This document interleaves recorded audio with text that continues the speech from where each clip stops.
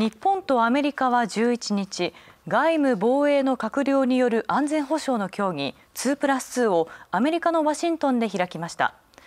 日本側が防衛力を強化する方針を説明したのに対しアメリカは強い支持を表明しました。日本の防衛力の抜本的強化を踏まえた同盟の役割任務分担を実現していく必要性で一致しました。I want to underscore my support for the bold decisions that Japan has made in your 2022 national security strategy,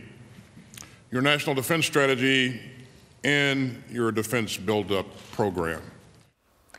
日本側は防衛費の増額や相手のミサイル発射拠点などを破壊する反撃能力を新たに保有することについて説明しアメリカ側はこれを強く支持しました。また日米両国が取りまとめた共同文書では海洋進出の動きを強める中国の外交政策について自らの利益のために国際秩序を作り変えることを目指していると指摘し核戦力の増強を加速しつつあるとして懸念を共有しました。